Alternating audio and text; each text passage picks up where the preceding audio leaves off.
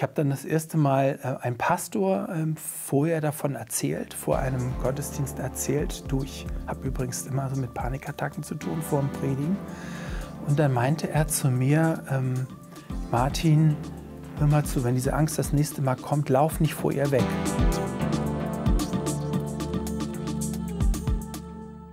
Hallo und herzlich willkommen bei Bibel TV, das Gespräch.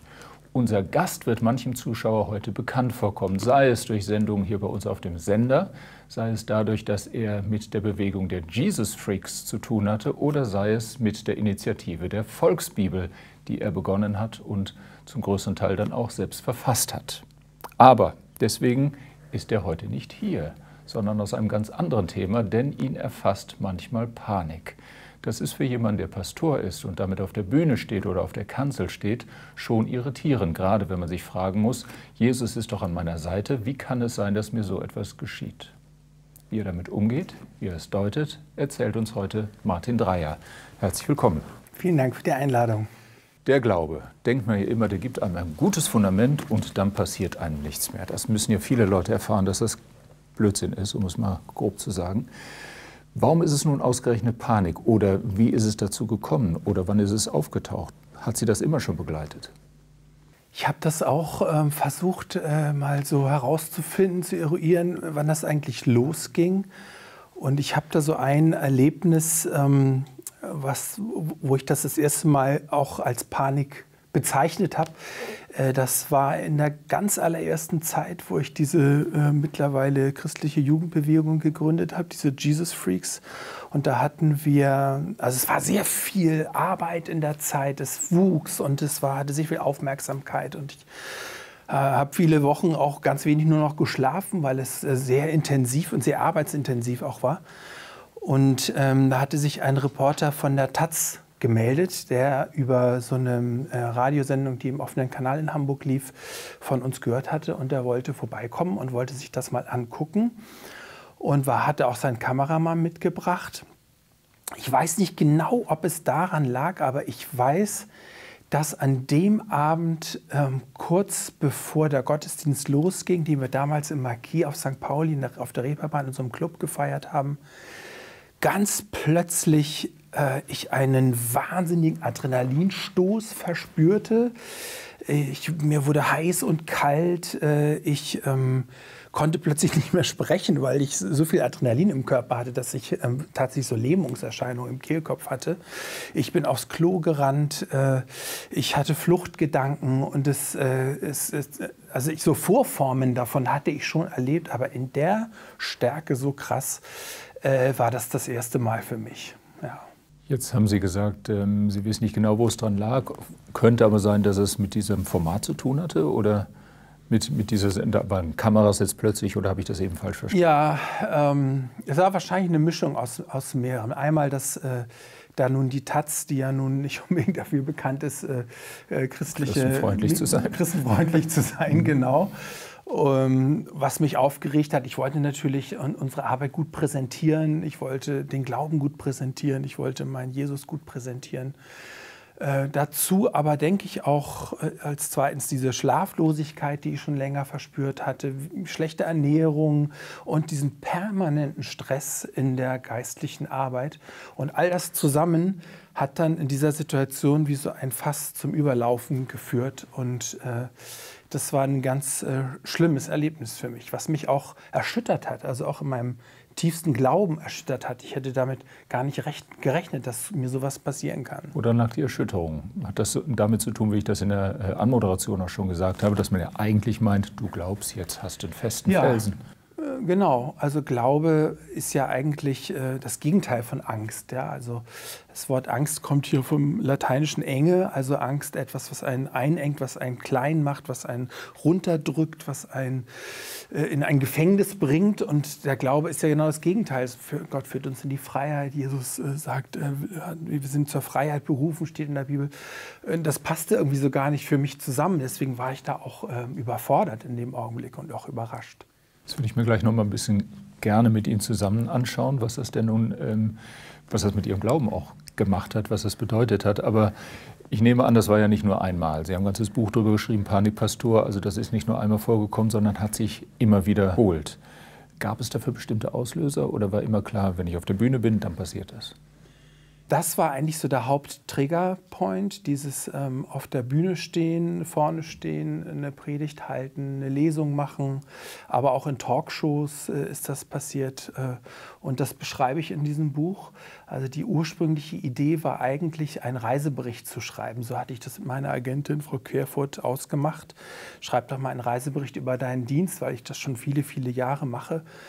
Und dann merkte ich so nach der dritten, vierten Geschichte, dass so diese Reise, das war fast so wie so eine Heldenreise. Ja, so Martin Dreier und er ist unterwegs und die Tausenden bekehren sich und ein Erfolg, das Erlebnis jagte das nächste und ich merkte, nee, das ist nicht ehrlich. Also wenn ich das Buch so geschrieben hätte, das wäre irgendwie gelogen gewesen. Denn, denn diese Angst, diese, diese Marter, dieses, äh, dieses, diese Qual, die, diese Panikattacken, besonders vor dem Predigen, äh, mir immer wieder bereitet haben, die haben einen ganz äh, wichtigen Teil ausgemacht in meinem Dienst und haben ihn, auch, ähm, haben ihn mir auch madig gemacht, hat es mir auch erschwert. Also ich habe wirklich ganz oft vorher und auch nachher auf der Rückfahrt mit Gott gerungen und gebetet und gesagt, Gott, warum nimmst du mir das nicht? Äh, Warum ähm, ist das mein ständiger Begleiter? Äh, kannst du das nicht einfach von mir nehmen? Es muss doch viel befreiender sein, wenn ich da vorne stehe, ohne diese Angst.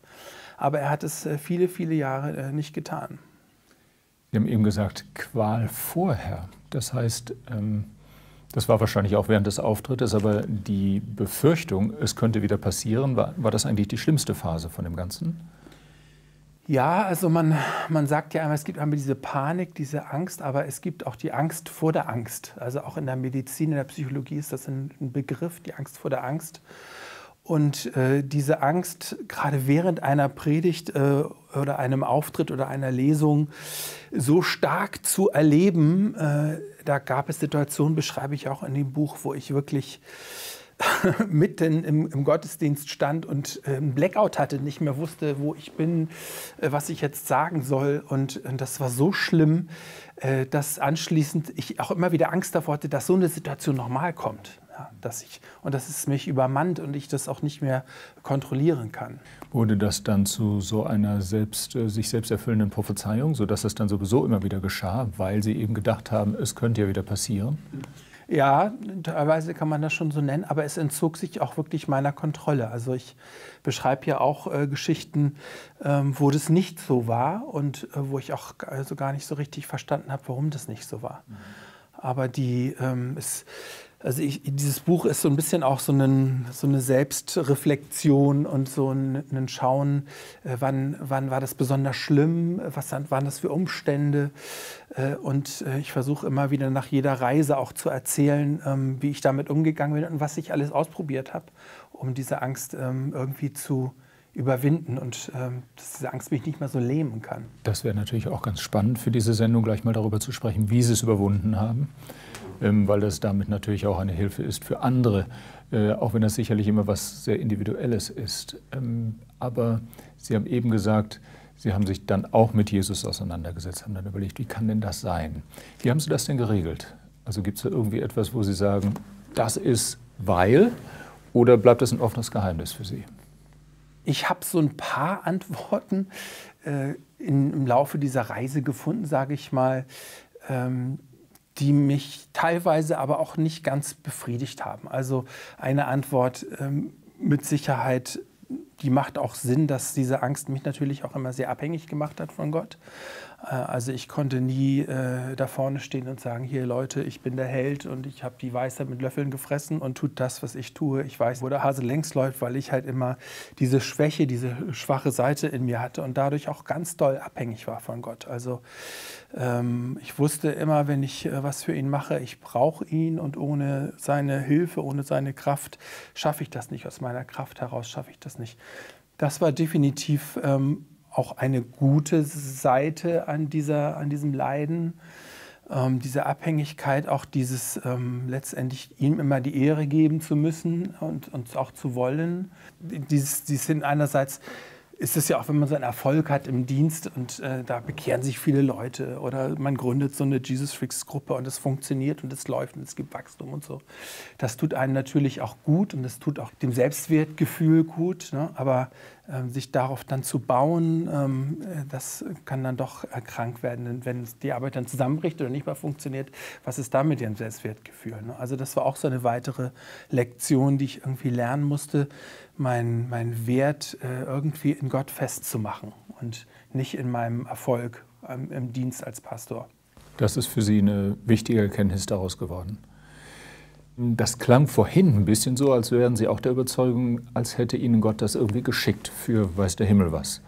Ähm, ist das so oder können Sie das trennen, dass Sie sagen, also diese Panikattacken, die kommen woanders her, das hat mit Gott jetzt erstmal nichts zu tun? Mhm. Oder empfinden Sie das auch als etwas, was, ähm, wo er einen Plan mit hat?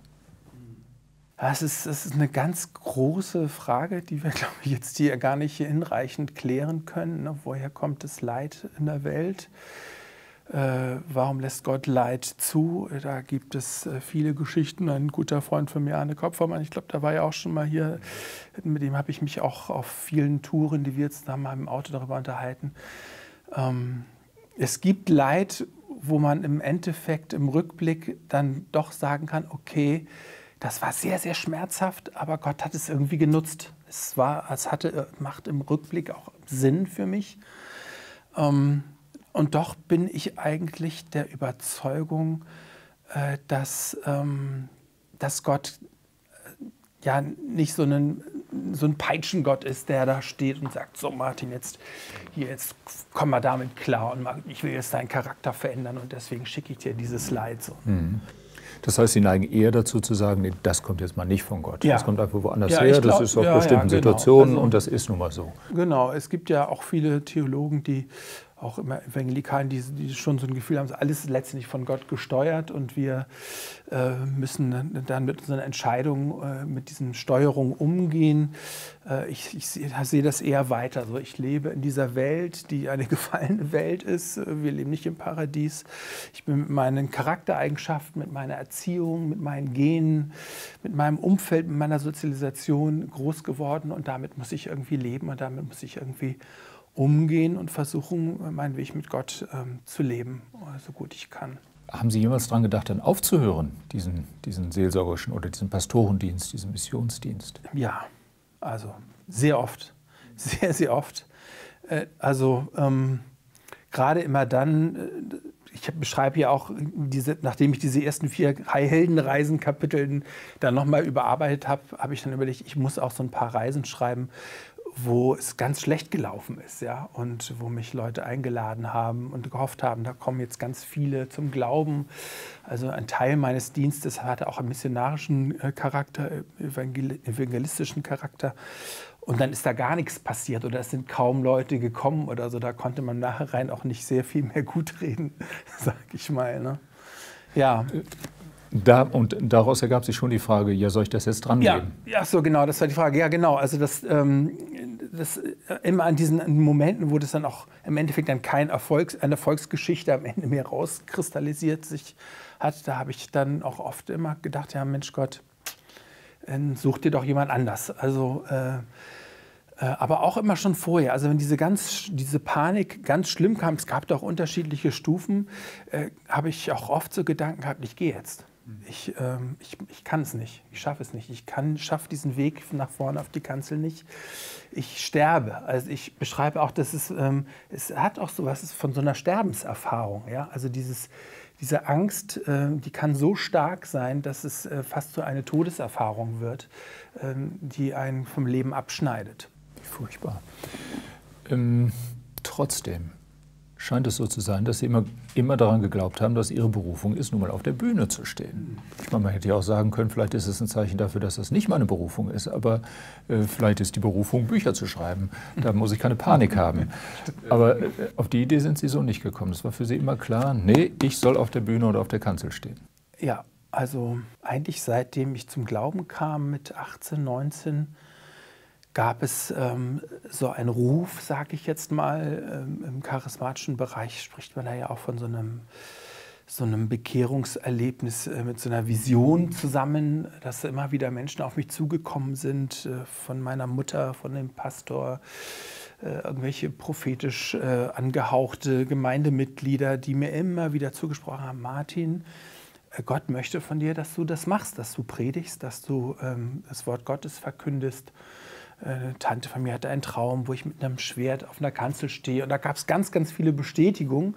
Also ich, ich habe diesen Ruf äh, eigentlich immer sehr stark auf meinem Leben gespürt und wusste irgendwie auch, wenn ich das jetzt nicht mache, dann wäre ich auch nicht an dem richtigen Ort. Ja? Dann würde ich mich auch nicht wohlfühlen. Dann hätte ich nicht das Gefühl, das zu tun, äh, was Gott von mir möchte, meinen Auftrag zu erfüllen.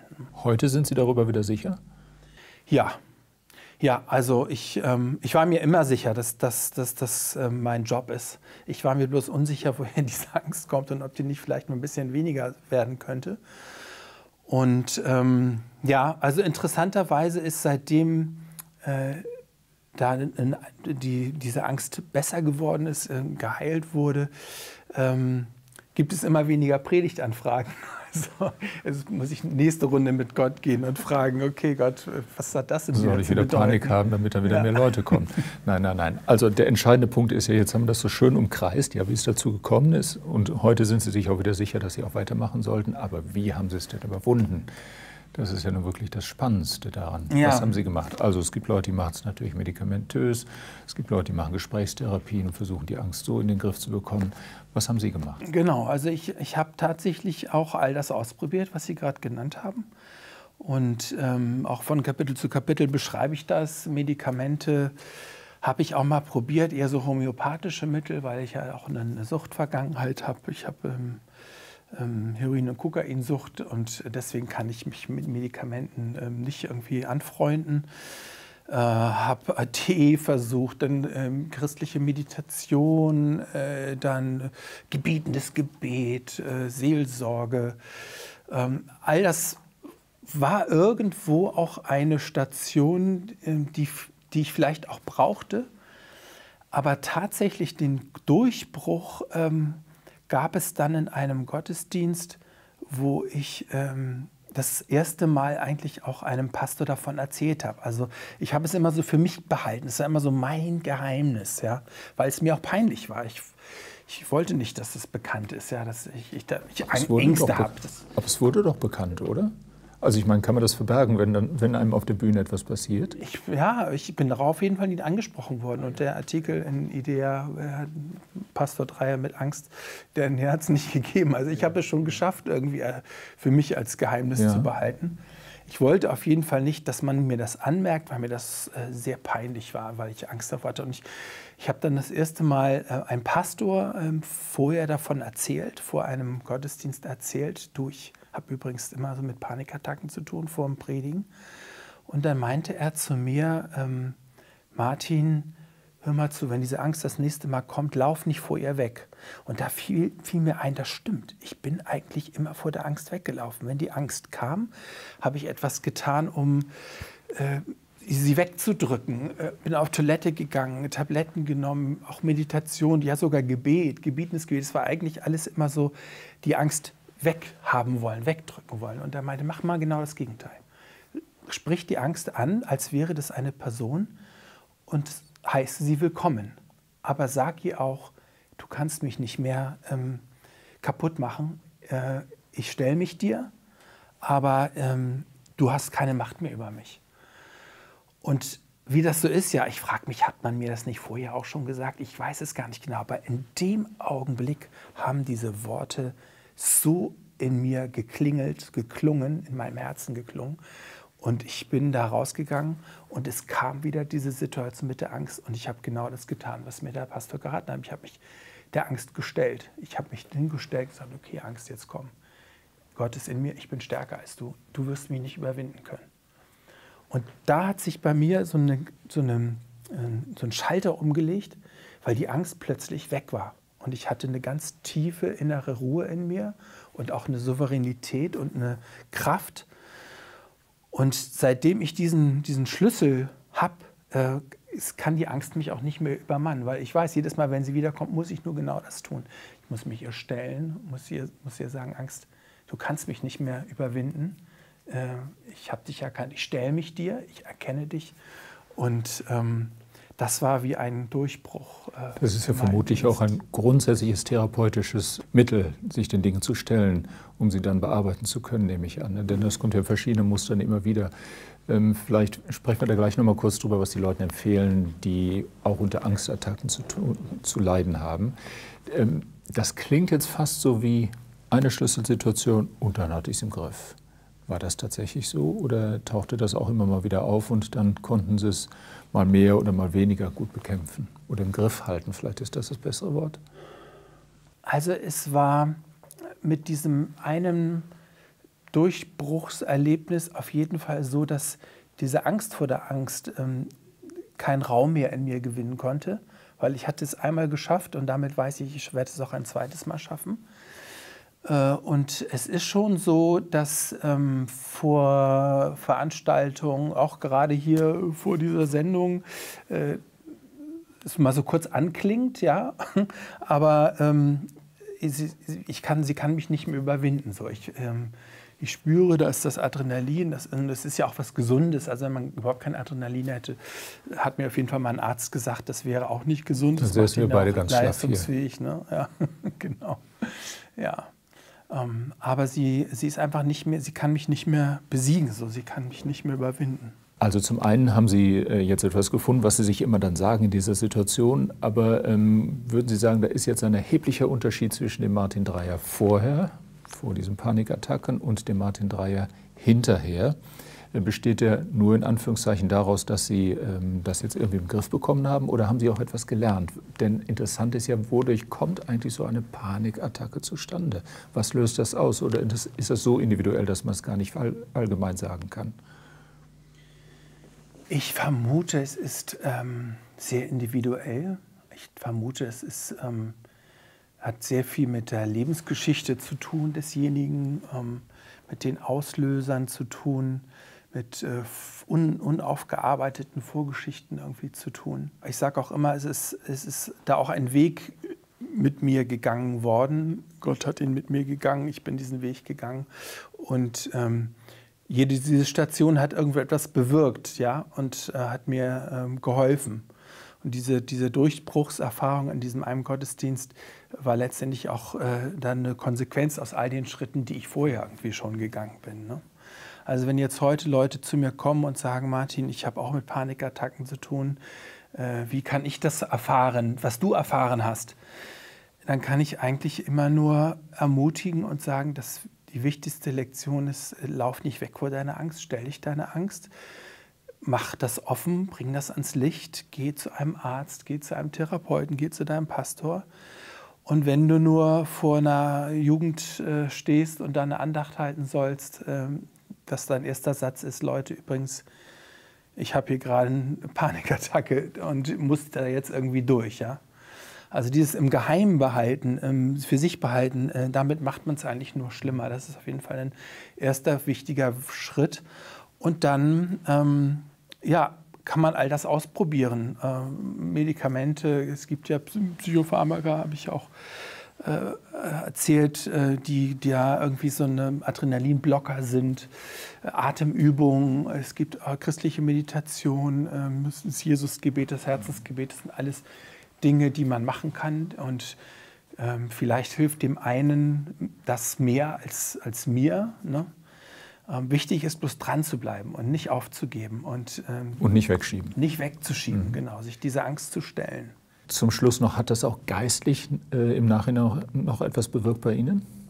Also in der Auseinandersetzung mit Jesus, haben Sie jetzt eine Antwort darauf, wie das da so ist? Oder wollen Sie jetzt auch sagen, naja gut, also Jesus, es ist, wie es ist, ich habe es jetzt nun im Griff, jetzt mache ich weiter. Haben Sie irgendeine Antwort darauf gefunden, warum das für Sie so war? Warum Sie das mit sich durch, durch Ihr Leben schleppen müssen? Eine geistliche Antwort jetzt.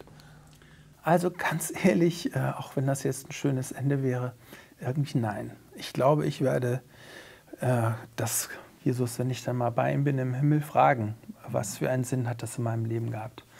So wie vieles äh, an auch Schlimmen und Negativen, was auch wir als Christen erleben, wo wir durchgehen müssen, wo man vielleicht fromme Antworten finden kann, die dann aber oft auch eben nur fromme Antworten sind und irgendwie was zukleistern. Ähm, so gibt es Dinge, die ähm, wir irgendwann im Himmel, wenn wir vor Gott stehen, ihn dann fragen können und sagen an Gott, warum ist das in meinem Leben passiert? Warum habe ich dies und jenes durchmachen müssen? Und ich, er hat bestimmt eine befriedigende Antwort für mich, da bin ich mir ziemlich sicher. Hätte, hätte, wäre, wenn, man weiß nicht, wie mein Dienst sonst verlaufen wäre, wie mein Leben sonst verlaufen wäre. Ich bin auf jeden Fall jetzt an einem Punkt, wo ich das Gefühl habe, ähm, es ist rund, es ist gut, so wie es ist. Ich habe mein Leben eingesetzt für ihn und da sind ein paar gute Dinge bei rausgekommen. Und jetzt habe ich auch meine Angst überwunden und da freue ich mich sehr drüber. Ich bin Ihnen sehr dankbar für diese doch offene Antwort oder sagen wir für dieses offene Ende. Und auch nicht, wie Sie es selber gesagt haben, nicht mit irgendeiner frommen, ja, ich sage jetzt Soße, die Sie darüber äh, kleistern und am Ende ist alles wieder gut. Nein, ist es nicht. Aber Sie haben es in den Griff bekommen und das ist was Großartiges und hat vielleicht dem einen oder anderen Mut gemacht. Vielen Dank, dass Sie davon erzählt haben. Dankeschön. Vielen Dank auch Ihnen, liebe Zuschauer, für Ihr Interesse an der heutigen Sendung. Hoffentlich bis bald, wenn es wieder heißt Bibel TV, das Gespräch. Bis dahin machen Sie es gut. Tschüss.